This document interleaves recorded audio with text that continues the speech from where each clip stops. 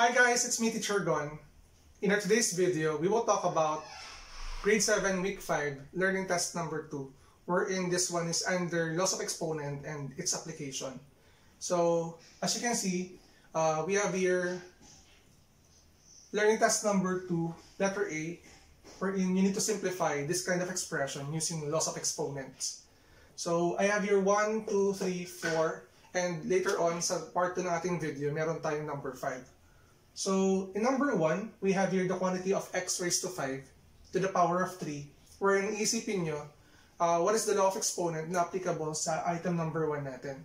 Dito, ang gagamitin yung law of exponent is simply the power rule.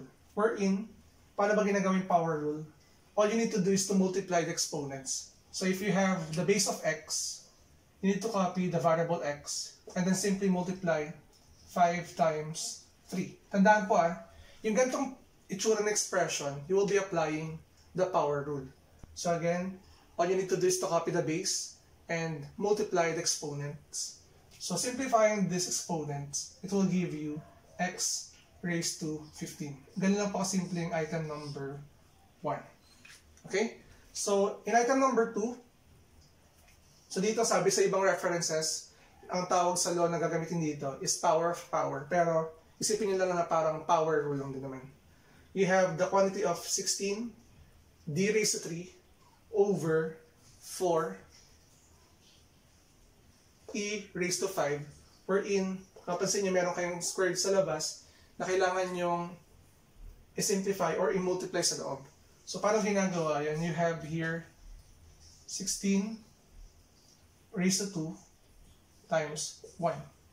Parang konsepto kasi nito, you need to multiply the exponent 1 by 1. Kasi yung 16 natin, meron siya original na exponent na 1. And then for the variable d, you have d raised to 3 times 2 over for the exponent 4, you have 4 raised to 1 times 2. And then for the variable e, you have e raised to 5 times 2.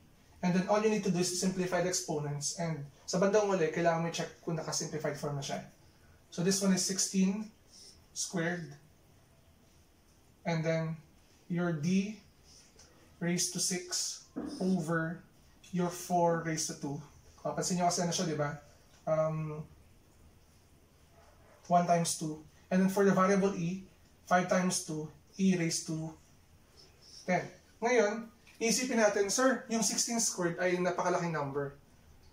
So, kailangan ba natin i-multiply yan? Huwag nyo munang i-simplify yung 16 squared. Kasi mapapansin niya, you have here 14 squared.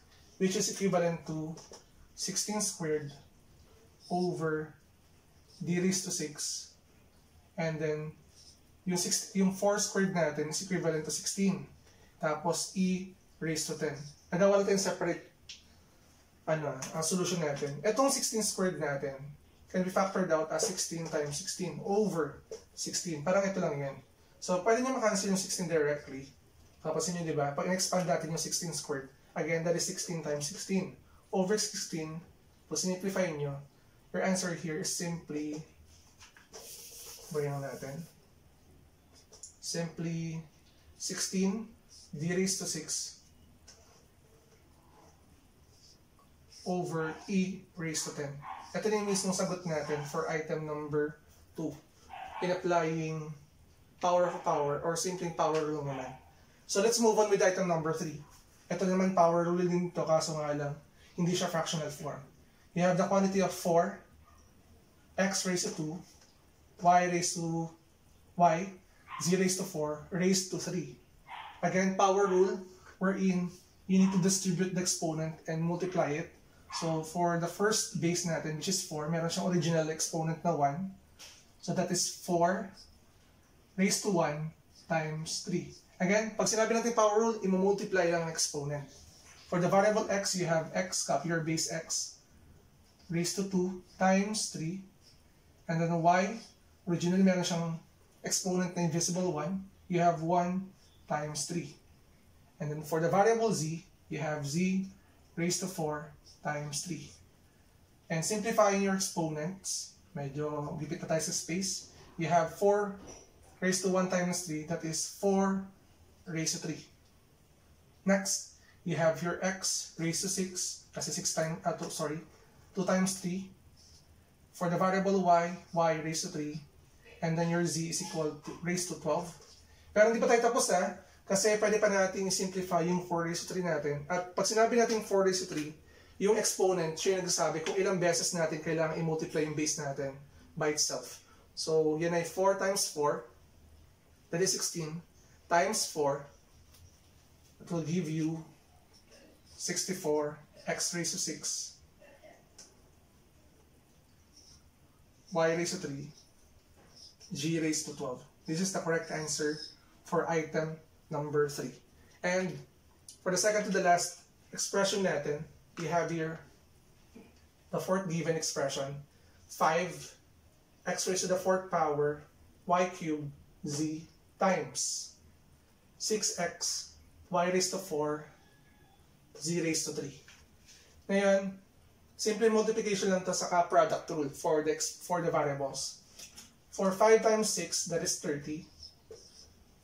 Ito ah, baka malito kasi kayo dito. Dito kasi ang setup dito sa number 3 sa number 4.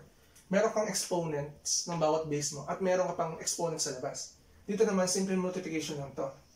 Now for the variables, focus tayo sa x.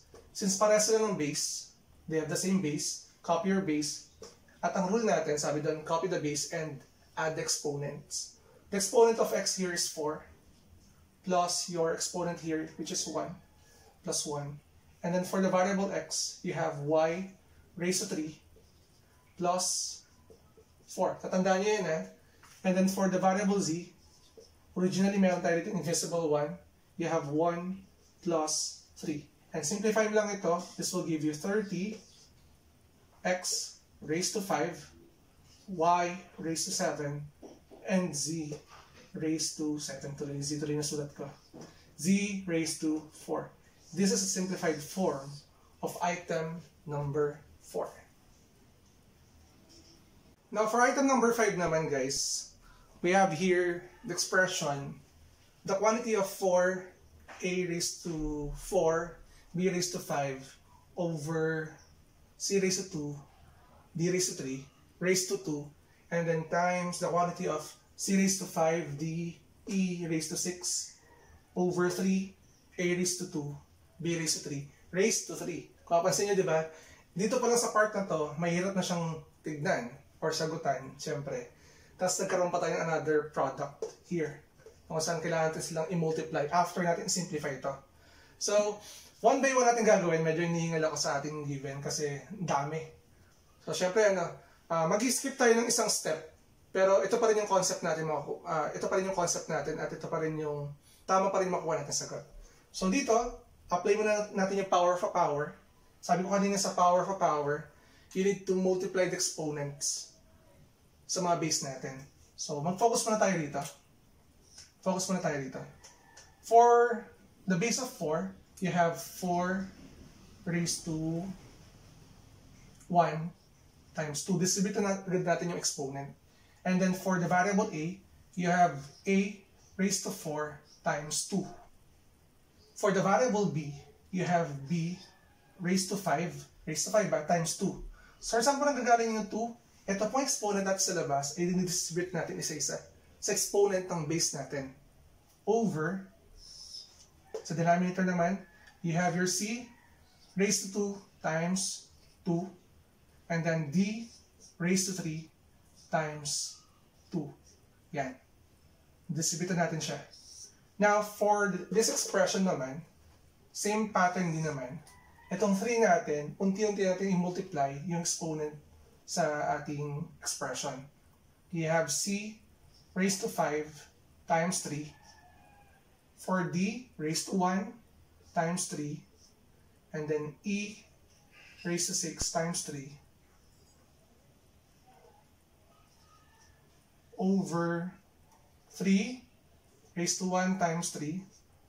And then a raised to 2 times 3. Tapos, b raised to 3 times 3. After natin ma-distribute lahat ng exponent, kapansin nyo, di ba, wala na sila sa labas. Ito naman yung paproblemahin natin. We need to simplify the exponent by multiplying it. You have 4 raised to 2.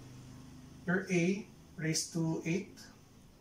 5 times 2, you have B raised to 10 over C raised to 4 and D raised to 6.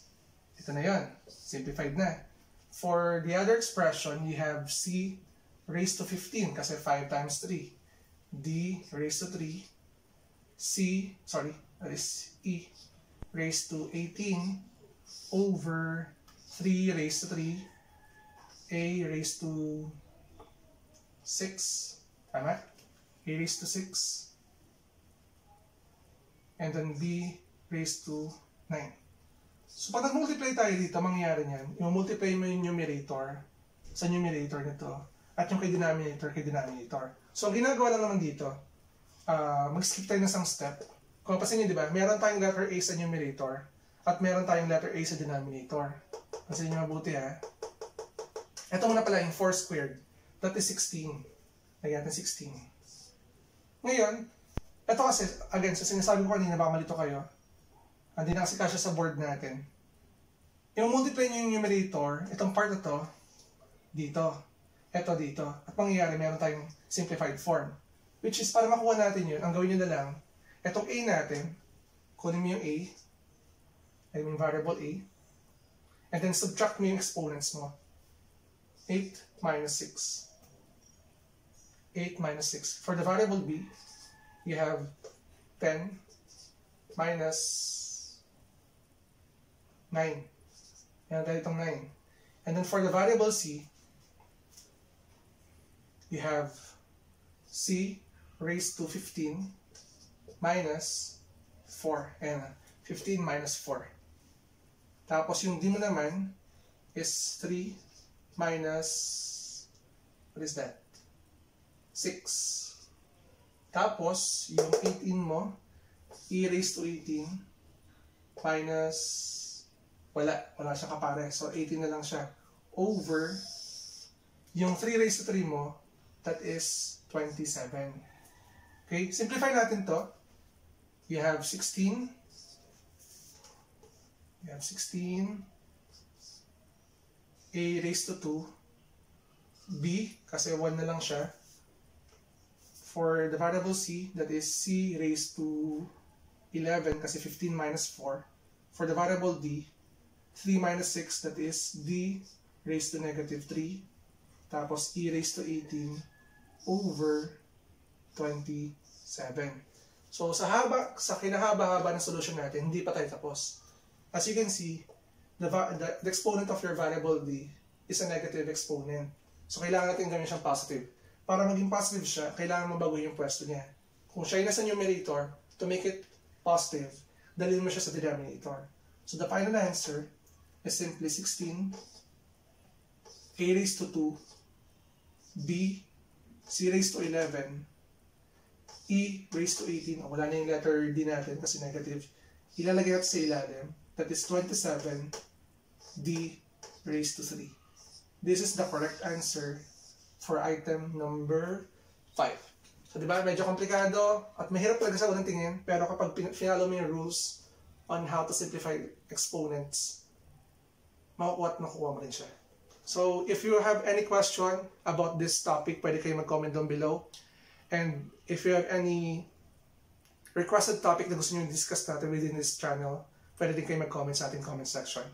So if you're new to my channel, don't forget to like and subscribe at i-hit na rin yung bell button for you to be updated sa ating latest uploads. Again, I'm Teacher Gon. Maraming maraming salamat. Bye-bye!